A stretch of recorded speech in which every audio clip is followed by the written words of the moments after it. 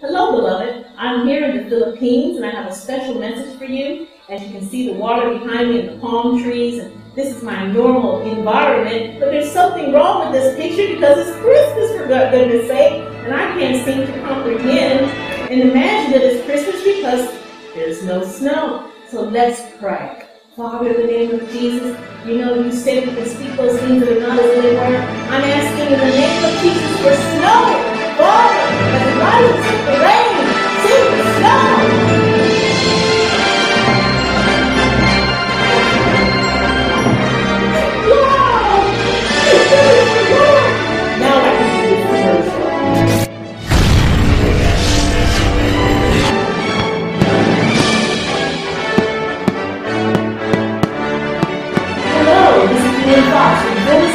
TV and Fullness Ministries International. We want to thank all of our friends, our partners, all of our intercessors, those who are special donors, those who lifted up our hands in a very special way this 2019 and say, a blessed Christmas to you. May this Christmas be the best one you've ever had, full of happiness and the joy of the Lord. And beloved, may you remember that in this season, you can give an eternal gift, not a temporal gift, but toys or something that's will pass away, but something that can change the hearts of your love forever. And it's the good news of Jesus Christ. You can give them the message that there's someone who came, someone who died on the cross, someone who's pure, spotless, who's the Savior of all mankind, and who can come into their hearts and change their lives just by praying the prayer of salvation.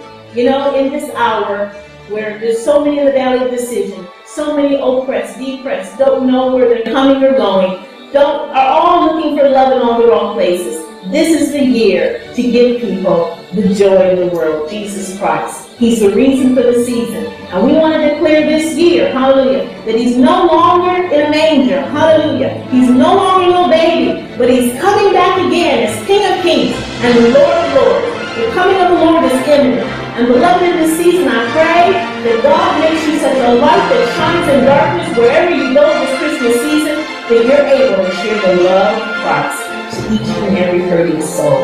We want to thank you. We want to bless you this Christmas season. We love you for fullness ministries and fullness of God Media TV.